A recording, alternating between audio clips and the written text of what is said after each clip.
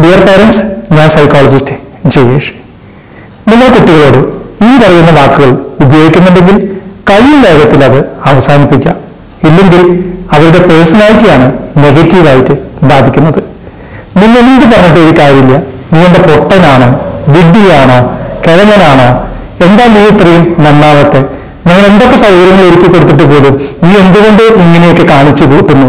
എന്നൊക്കെ രീതിയിലുള്ള വാക്കുകൾ മറ്റുള്ള ആളുകളുടെ മുമ്പിൽ വെച്ച് നിങ്ങൾ കുട്ടികളോട് പറയുമ്പോൾ യഥാർത്ഥത്തിൽ അത് അവരെ ഇൻസൾട്ടേഷനും ഷെയിമുമാണ് ഉണ്ടാക്കുന്നത്. ഇത് നിങ്ങളോടുള്ള വൈരാഗ്യം വർദ്ധിച്ച് ഭാവിയിൽ അവർ ആന്റി സോഷ്യൽ പേഴ്സണാലിറ്റികൾക്ക് ഉടനെയായി തന്നെ തീരും. അതുകൊണ്ട് ഇത്തരം വാക്കുകൾക്ക് പകരം നല്ല വാക്കുകൾ നിങ്ങൾ ഉപയോഗിച്ച് പാരന്റ് സ്റ്റൈലിൽ മാറ്റം വരുത്തുവാനായിട്ട് ശ്രമിക്കുക. നിങ്ങളുടെ കുട്ടികൾക്ക് അമിതമായിട്ടുള്ള വികൃതിയും ശ്രദ്ധക്കുറവും ഉണ്ടോ?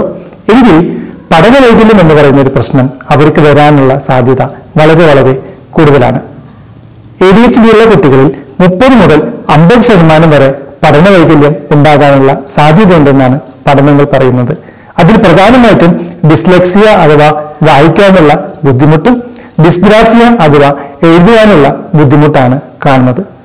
ഏഴ് വയസ്സ് കഴിഞ്ഞിട്ട് പോലും നിങ്ങളുടെ മക്കൾക്ക് ഈ പറയുന്ന എഴുതുവാനും വായിക്കുവാനും ബുദ്ധിമുട്ടുണ്ടെങ്കിൽ കഴിയും വേഗത്തിൽ ലേണിംഗ് ഡിസബിലിറ്റി സ്പെഷ്യലൈസ് ചെയ്തിട്ടുള്ള സൈക്കോളജിസ്റ്റുമാരെ കൺസൾട്ട് ചെയ്ത് എത്രയും പെട്ടെന്ന് പ്രശ്നങ്ങൾ പരിഹരിച്ചെടുക്കുവാനായിട്ട് ശ്രമിക്കുക.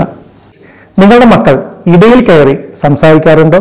എങ്കിൽ അത്തരം പ്രവണതകൾ കുറയ്ക്കുന്നതിന് സഹായിക്കുന്ന ടിപ്സുകളാണ് ഇനി ഷെയർ ചെയ്യുന്നത്.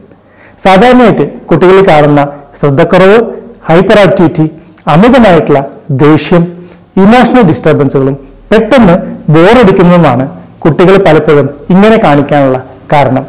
അതുകൊണ്ട് അവരുടെ ദേഷ്യം കുറയ്ക്കുന്നതിനും ക്ഷമ വർദ്ധിപ്പിക്കുന്നതിനും ഹൈപ്പർ ആക്ടിവിറ്റി കുറയ്ക്കുന്നതിനും വേണ്ടിയിട്ടുള്ള ആക്ടിവിറ്റീസുകൾ കൊടുത്തു കഴിഞ്ഞാൽ തീർച്ചയായിട്ടും നിങ്ങളുടെ മക്കളുടെ ഇത്തരത്തിലുള്ള ഡിസ്ട്രാക്റ്റീവ് ഫീലിങ്സ് നമുക്ക് നിയന്ത്രിച്ചു കൊണ്ടുവരാനായിട്ട് കഴിയുന്നതാണ്.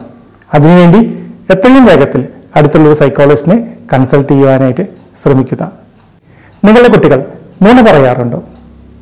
എങ്കിൽ അതിനു പിന്നിലുള്ള കാരണങ്ങളാണ് ഇനി പറയുന്നത്. ഒരു കുട്ടി നുണ പറയുന്നുള്ള പ്രധാന കാരണങ്ങളായിട്ട് പഠനങ്ങൾ പറയുന്നത്. ഒന്ന് അവർക്ക് ജീവിതത്തിൽ അല്ലെങ്കിൽ കുടുംബത്തിൽ നിന്ന് സന്തോഷം കിട്ടാതെ വരിക. അമിതമായിട്ടുള്ള ഭയം anti social behaviour immaturity emotional ഡിസ്റ്റർബൻസുകൾ ഇങ്ങനെയുള്ള അഞ്ച് കാരണങ്ങൾ കൊണ്ടാണ് ഒരു കുട്ടി നുണ പറയാനായിട്ട് ആരംഭിക്കുന്നത്. അതുകൊണ്ട് നിങ്ങളുടെ മക്കൾ നുണ പറയുന്നുണ്ടെങ്കിൽ എത്രയും വേഗം അടുത്തുള്ള സൈക്കോളജിസ്റ്റിനെ കണ്ട് ഈ ബിഹേവിയർ തുടക്കത്തിൽ തന്നെ അവസാനിപ്പിക്കാനായിട്ട് ശ്രമിക്കുന്നത് നല്ലതാണ്. താങ്ക്